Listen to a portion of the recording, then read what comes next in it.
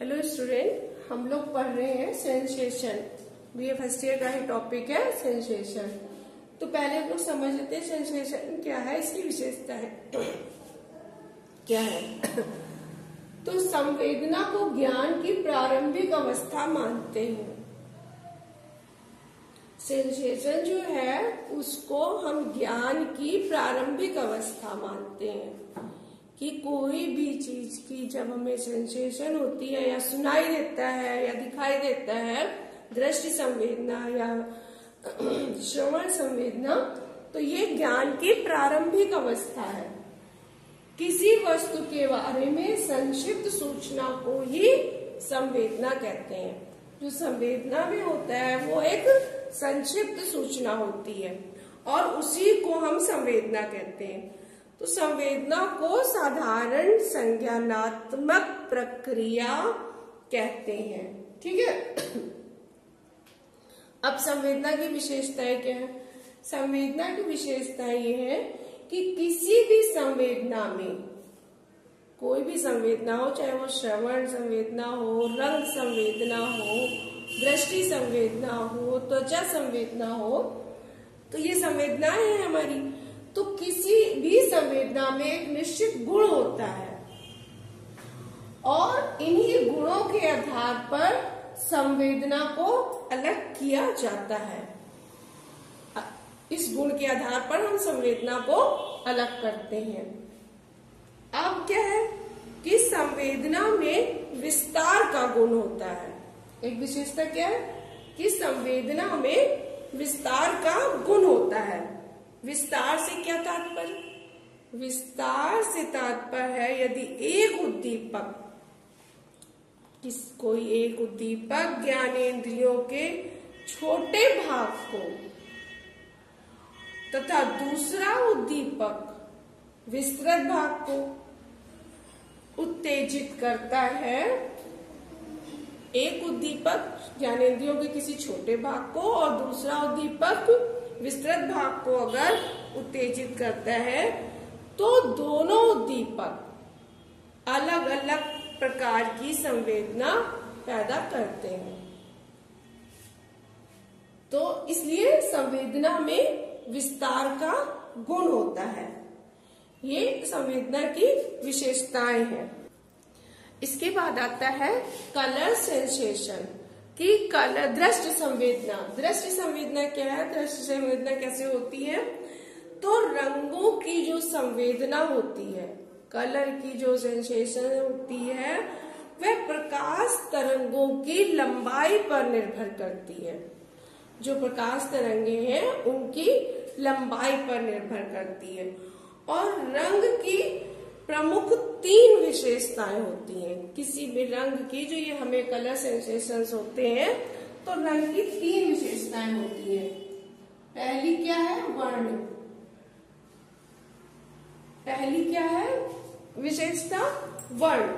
तो विभिन्न रंगों से संबंधित जो छाया होती है, विभिन्न जो कलर होते हैं, उनसे जो संबंधित छाया को वर्ण कहते हैं। ठीक है? रंगीन उद्दीपक का कोई ना कोई वर्ण होता है। कलरफुल जो उद्दीपक होते हैं, उनका कोई ना कोई वर्ण होता है। और जो ये रंग का वर्ण है, वो तरंग की लंबाई पर निर्भर करता है। जो ये कलर कैसे डिसाइड होता है, वो तरंग की लंबाई पर। कौन सा कलर है? ये उस चीज़ पर डिसाइड होता है। इसके बाद दूसरा क्या है? चमक। चमक। अब चमक क्या है? तो रंग की चमक। तरंग की ऊंचाई पर निर्भर करती है, वर्ण लंबाई पर निर्भर करता है। और किसी भी रंग की जो चमक है रंग की चमक जो है, वह तरंग की ऊंचाई पर निर्भर करती है। तो जो ये लाल रंग है, रेड कलर है, उसकी ऊंचाई सबसे अधिक होती है। इसीलिए कलर बहुत ब्राइट कलर कहलाता है। रेड कलर बहुत ब्राइट कलर क्यों कहलाता है? क्योंकि इसकी तरंग की जो ऊंचाई है, वो बहुत अधिक है। इसलिए लाल रंग अधिक चमकीला होता है। वर्ण, ठीक है? क्लियर हो गया? कि वर्ण किस पर निर्भर करता है? तरंग की लंबाई पर और चमक तरंग की ऊंचाई पर। इसी कारण रेड कलर की चमक की ऊंचाई बहुत अधिक होती है तो वह कलर चमकीला होता है। इसके बाद नंबर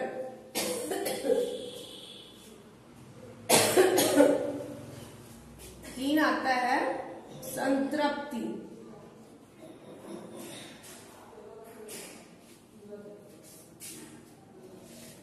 संतृप्ति।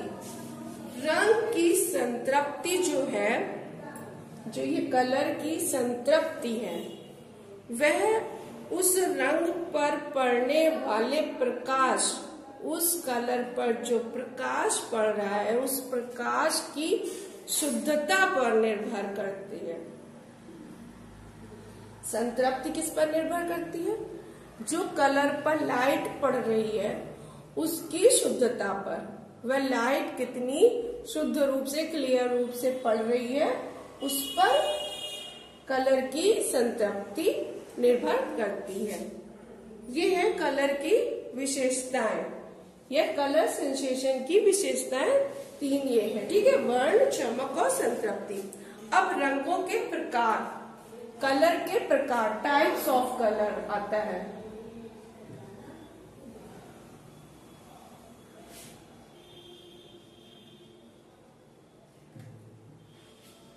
तो टाइप्स ऑफ़ कलर क्या होते हैं?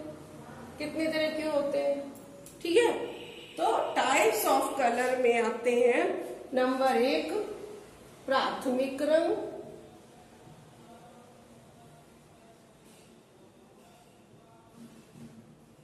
प्राथमिक रंग और दूसरे आते हैं गौण रंग ठीक है? दूसरे आते हैं गौण रंग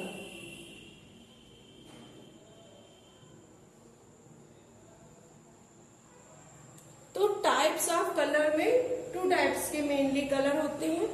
प्राथमिक कलर और गौड़ कलर। तो प्राथमिक कलर में कौन से कलर आते हैं? इसमें, मुख्य रूप से तीन कलर आते हैं। तीन कलर कौन से आते हैं? लाल, हरा, नीला। लाल, हरा और नीला ये प्राथमिक रंग है। प्राथमिक रंग कौन से हैं? लाल, हरा और नीला। दूसरे हैं गौड़ रंग। गौर रंग कौन से कहलाते हैं? गौड़ रंग वो रंग होते हैं जो इन रंगों से मिलकर बनते हैं। इन सारे कलर से मिलकर जो कलर बनते हैं, वो गौड़ रंग कहलाते हैं। प्राथमिक कलर तो लाल, हरा, नीला है। और गौड़ रंग जो इन कलरों से मिलकर कलर बनते हैं, वो गौड़ रंग होते हैं। ठीक है? इस तरह से ये है कलर के टाइप्स और ये कलर सेंसेशन कैसे होता है और सेंसेशन क्या होते हैं? इसी के साथ ये क्लास ओवर होती है।